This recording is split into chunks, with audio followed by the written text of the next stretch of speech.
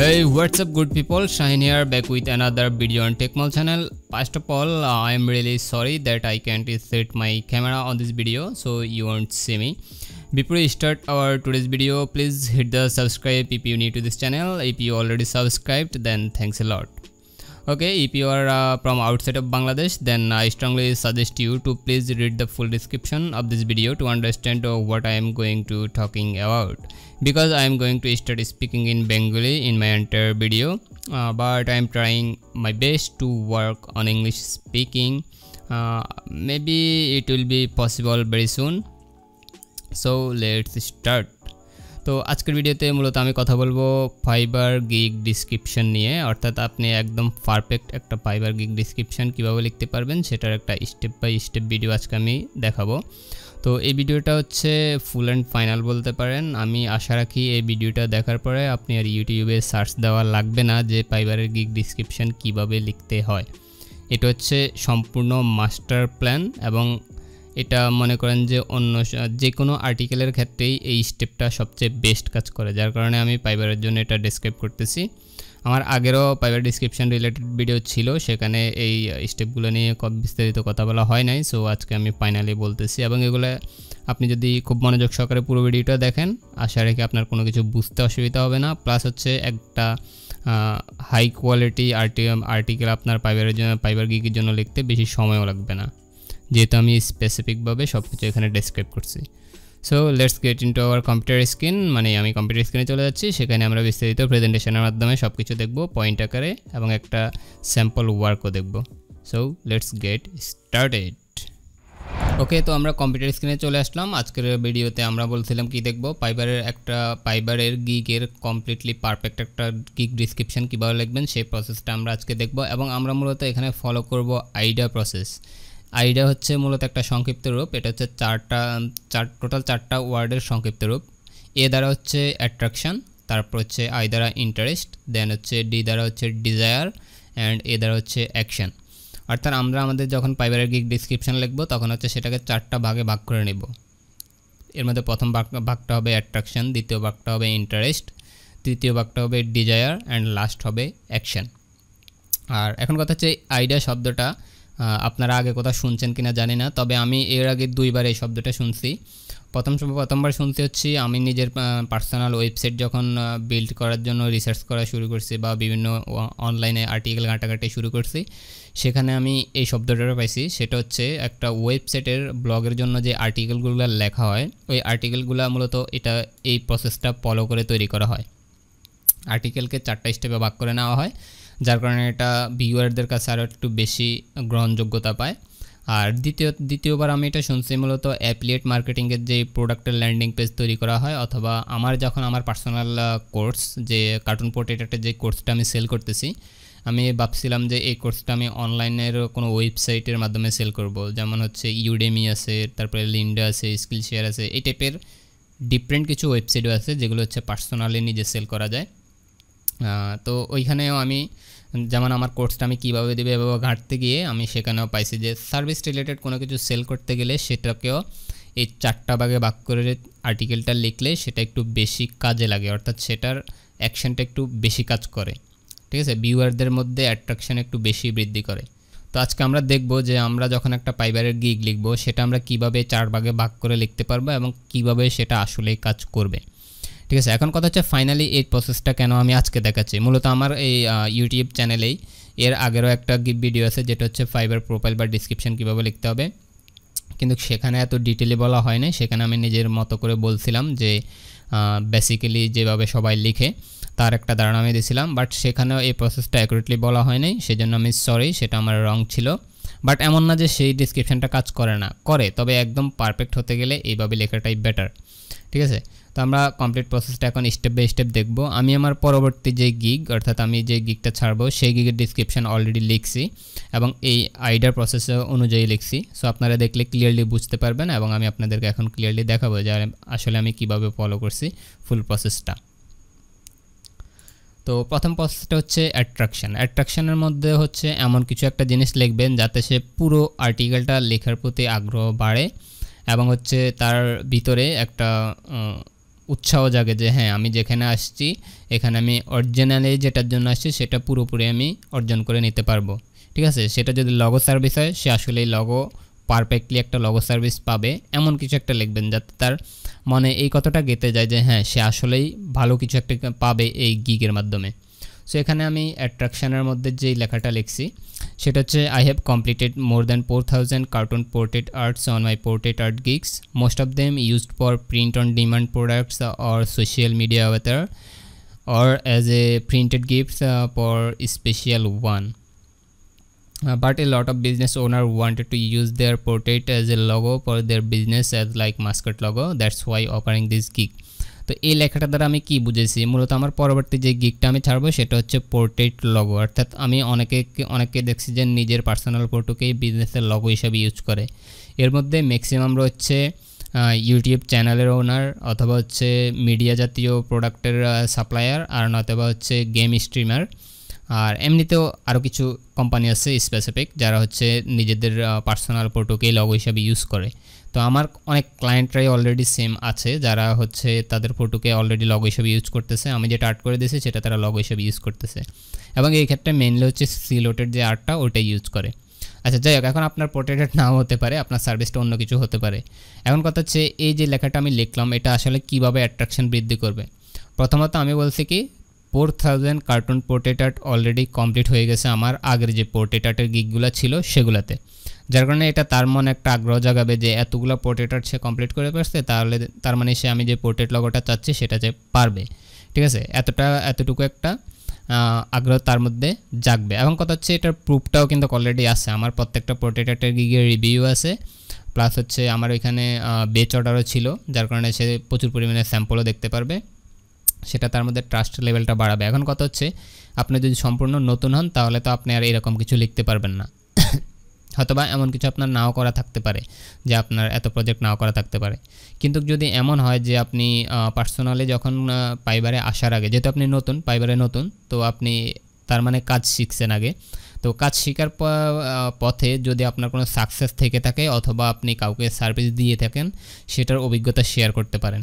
যেমন অনেক আছে লোকালি কাজ করে, তা আপনি এটা বলে দিতে পারেন যে I have completed more than কতগুলো কাজ করছেন? সেটা বলে দিতে পারেন এবং কি ধরনের ফিডব্যাক পাইছেন অথবা আপনি ক্লায়েন্টদের সাথে ডিল কীভাবে করছেন সেম কাজটা সম্পর্কে কীভাবে রিসার্চ করছেন, এই সম্পর্কে শর্ট একটা লেখা লিখতে পারেন। তবে এই ক্ষেত্রে একটা জিনিস খেয়াল রাখবেন যে অনেস্ট থাকতে হবে, অর্থাৎ সততা থাকতে হবে হান্ড্রেড পারসেন্ট আপনি মন গড়া একটা লিখে দিলেন, একদম পুরাই অ্যাট্রাকটিভ এটা দেখলে যে কেউ আমিও হয়তো বা অর্ডার দিয়ে দেবো বা কঠিন একটা লেখা।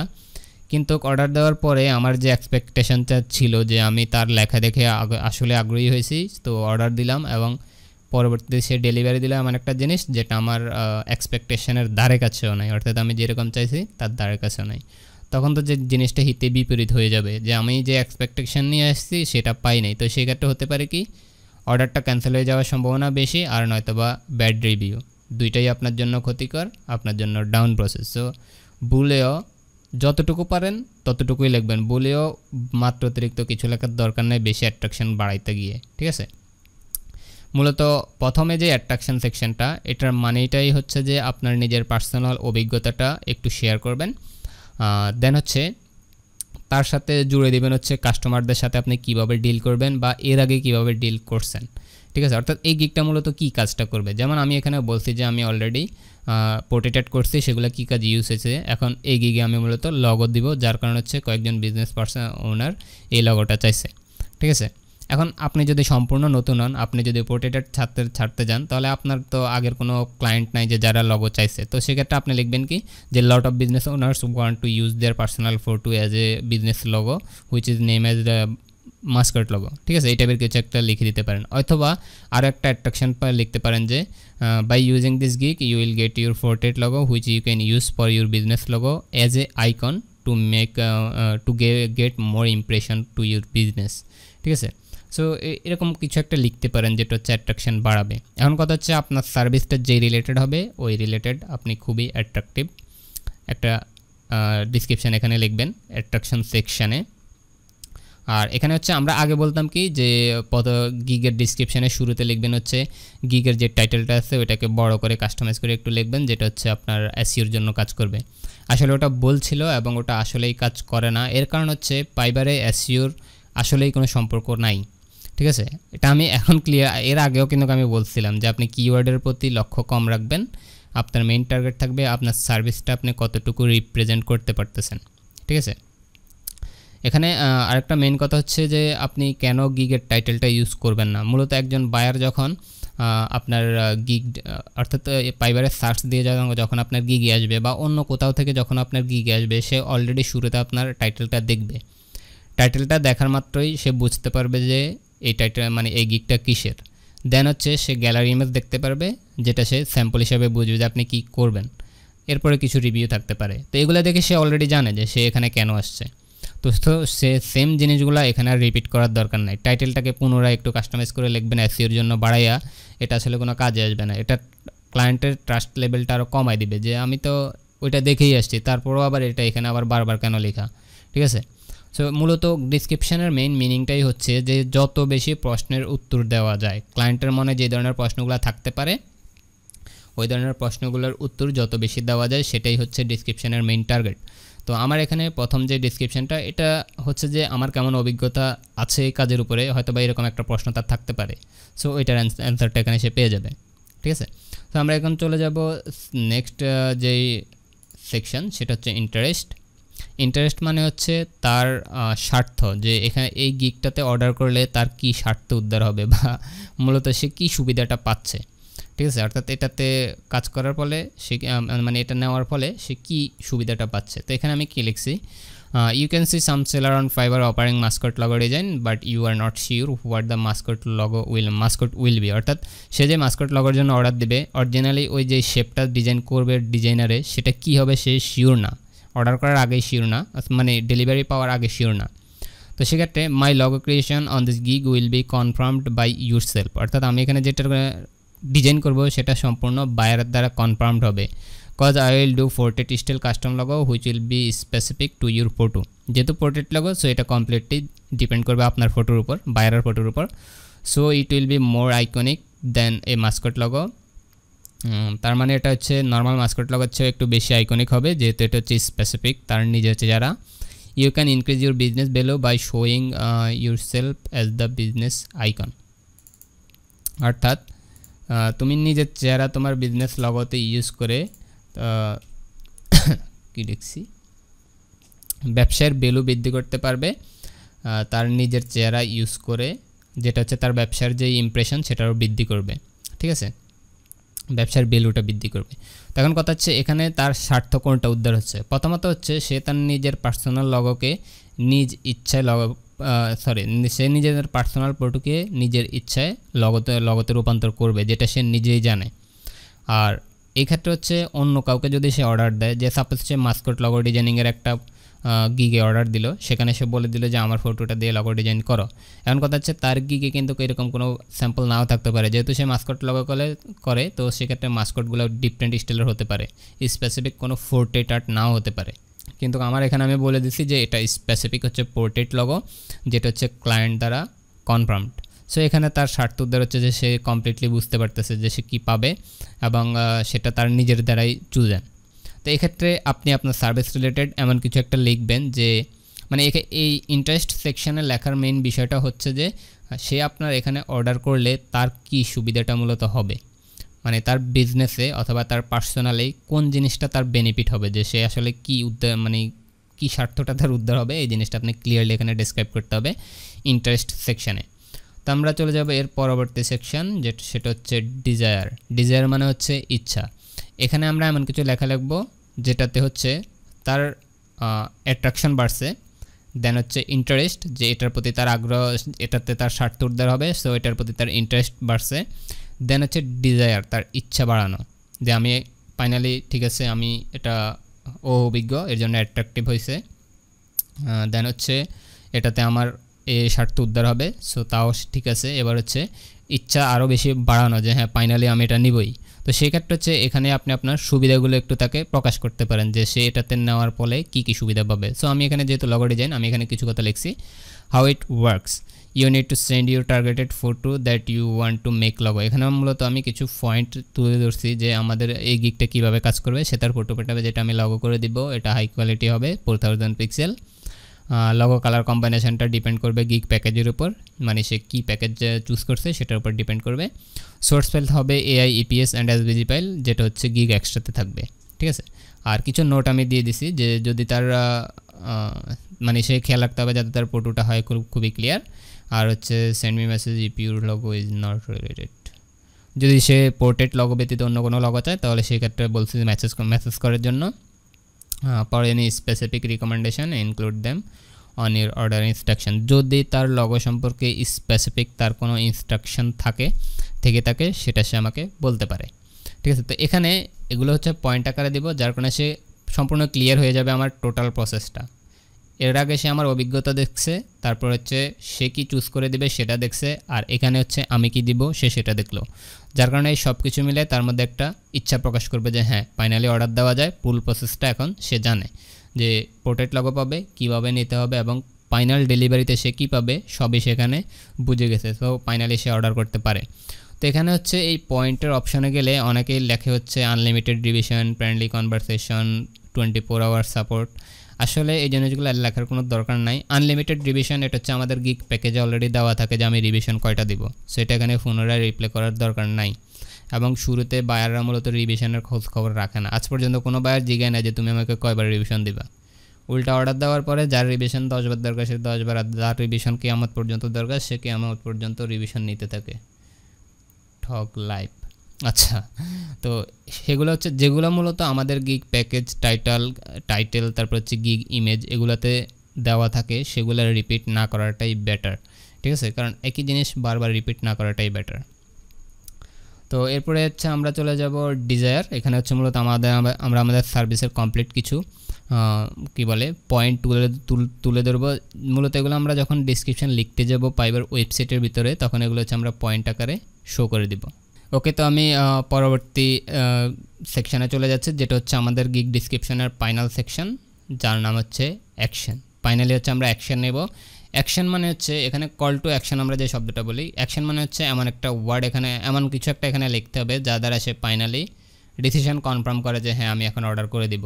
তো অ্যাকশন শব্দটা হচ্ছে খুবই শর্ট এবং এটার ডিসক্রিপশনটাও হয় খুবই শর্ট ঠিক আছে? একজন সোলজার স্নাইপার রাইফেল নিয়ে শুয়ে আছে কমান্ডারে জাস্ট ফায়ার বললেই কিন্তু সে ফায়ার করবে। এখানে বলতে হবে না যে তুমি একটু লড়ি সরিয়ে বসো দেন হচ্ছে গুলি করো। মূলত ফায়ার বলা মাত্রই গুলি করে দিবে। সো অ্যাকশনটা মানেই হচ্ছে শর্ট তো এখন এখানে অ্যাকশন যেই সেকশনটা আমি দিলাম, এখানে আমি লিখছি কি?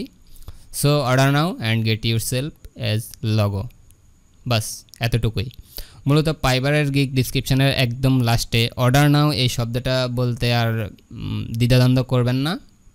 মূলত এটা আমি আরেকটু বড় করেও লিখতে পারতাম যে so you understand my complete process what's now order now and get yourself as logo এতটুকু বড় করে লিখতে পারতাম। মানে দুই লাইনে লিখতে পারতাম।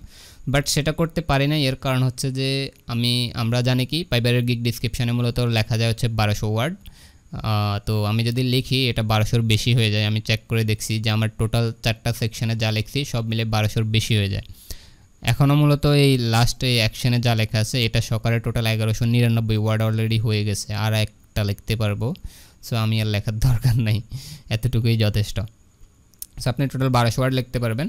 এখন এই অ্যাকশন সেকশনে মূলত হচ্ছে জাস্ট এভাবে আপনি একটা কল টু অ্যাকশন লেখা লিখে দেবেন, যেটা ফাইনালি তাকে এনকারেজ করবে যে অর্ডার বাটনে ক্লিক করার জন্য। ঠিক আছে? তো এই হচ্ছে আমাদের কমপ্লিট চারটা সেকশন তাহলে চারটা সেকশন হচ্ছে কি? অ্যাকশন ইন্টারেস্ট ডিজায়ার অ্যান্ড হচ্ছে sorry attraction interest desire and action so আমরা এখন দেখব final gig description final gig ডিসক্রিপশানটা যদি আমি একটু সাজাই, তাহলে এখন দেখতে পারতেছেন যে কেমন দেখা যাবে। আমি একটু ছোটো করে নিচ্ছি। দেখেন ফাইনালি আমার গিক ডিসক্রিপশানটা হবে এরকম। এটা হচ্ছে অ্যাট্রাকশান এটা হচ্ছে ইন্টারেস্ট এতটুকু হচ্ছে ডিজায়ার অ্যান্ড লাস্ট হচ্ছে অ্যাকশান এই হচ্ছে আমার কমপ্লিট পাইবার গিগ ডিসক্রিপশান ওকে তো এখন কত হচ্ছে, আমরা নর্মালি হচ্ছে অনেক গিগে ভিডিওতে আপনারা দেখবেন যে বলা হয় এরকম যে আপনার গিগের শুরুতে আপনি আপনার টাইটেলটাকে একটু কাস্টমাইজ করে লিখবেন, যেটা হচ্ছে অ্যাসির জন্য উপকারিতা, উপকার হবে। তারপর হচ্ছে আপনার ডিসক্রিপশানের মধ্যে দুই তিনবার কিওয়ার্ডটাকে ঢুকাই দিবেন, যেটা উপকার হবে।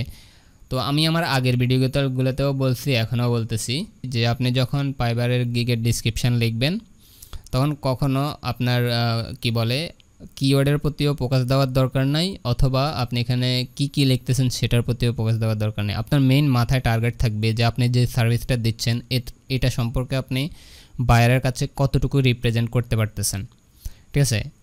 আমি আগেও বলছি যে আপনি যখন আপনার সার্ভিসটা সম্পর্কে আর্টিকেল লিখবেন, তখন অটোমেটিক আপনার যেই টার্গেটেড কিওয়ার্ড সেটা চলে আসবে অটোমেটিক যেহেতু সার্ভিস ওইটাই, তো আপনি তো এখানে আর অন্য কিছু লিখতে পারবেন না। আমার এখানে এই গিকটার ডিসক্রিপশনটা হচ্ছে মাস্কট লগো রিলেটেড তো আমি তো এখানে মাস্কট লগো লিখতে যাই, তো কল অফ ডিউটি কিংবা পাবজি গেমের কথা লিখব না। তাই না? অর্থাৎ সার্ভিস যেটা হবে অটোমেটিক্যালি ওই কিওয়ার্ডটা চলে আসবে। যেমন আমার এখানে শুরুতেই কার্টুন পোর্টেড যে কিওয়ার্ড সেটা চলে আসছে। এরপরে হচ্ছে use their portrait as a logo mascot logo এই শব্দটা চলে আসছে। মাস্কট লগো অলরেডি দুইবার চলে আসছে। এরপর হচ্ছে পোর্ট্রেট লগো চলে আসছে। ঠিক আছে? তো আমার মেইন যে কিওয়ার্ডগুলো সেগুলো দুই, তিনবার করে চলে, দুই, তিনবার চলে আসছে। তো আমি আর এটা নিয়ে ঘাটার দরকার নাই। আর দ্বিতীয় কথা হচ্ছে পাইবারে কিওয়ার্ড মেইন ফোকাস না।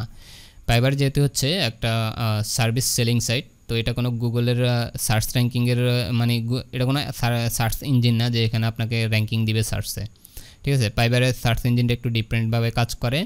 এটা সম্পর্কে অলরেডি আমার ডিটেল আলোচনা আছে একটা ভিডিওতে, যে ভিডিওর নাম হচ্ছে Fiverr gig selling system the insight ঠিক আছে? অর্থাৎ পাইবারের ইনসাইডে গিক সেলিং সিস্টেমটা আসলে কীভাবে কাজ করে র্যাঙ্কিং কীভাবে দেয়, এই সব কিছু নিয়ে একটা বিস্তারিত আলোচনা আছে।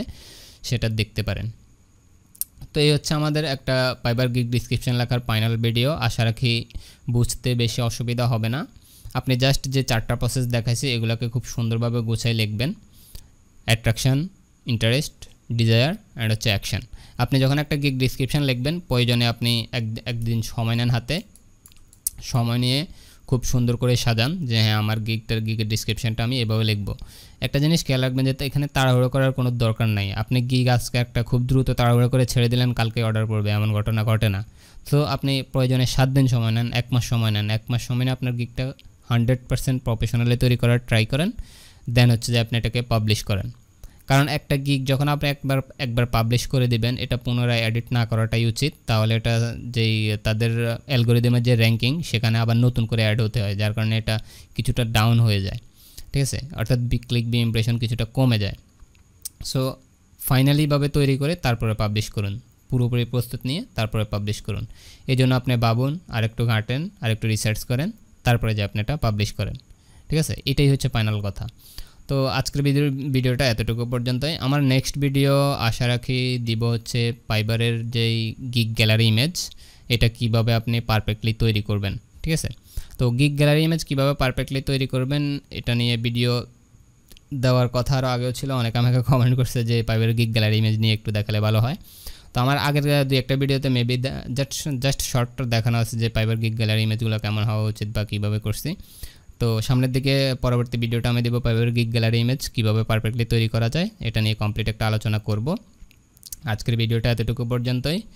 যদি ভিডিও ভালো লেগে থাকে, তাহলে হচ্ছে একটা লাইক বাটনে গুতা মারবেন। আর যদি ভিডিওটা ভালো নেলা, না লেগে থাকে, আমার কাজ, কথাগুলো যদি আদায়রা মনে হয়, তাহলে একটা ডিসলাইক বাটনে ক্লিক করে মারবেন। আর যদি আপনি সাবস্ক্রাইব না করে থাকেন, তাহলে প্লিজ হিট দ্য সাবস্ক্রাইব আর যদি আগে সাবস্ক্রাইব করে থাকেন, তাহলে অনেক ধন্যবাদ। অ্যান্ড ফাইনালি হচ্ছে, অবশ্যই আপনার মতামত কমেন্টে জানাবেন এবং যারা পাইবার নিয়ে কাজ করছে অথবা আপনারা পরিচিত কেউ যদি পাইবারের প্রতি ইন্টারেস্টেড হয়ে থাকে, তার সাথে আমার ভিডিওটা শেয়ার করবেন। গুড বাই সবাই ভালো থাকবেন, আমার জন্য দোয়া করবেন। Take care stay home stay safe and keep social distance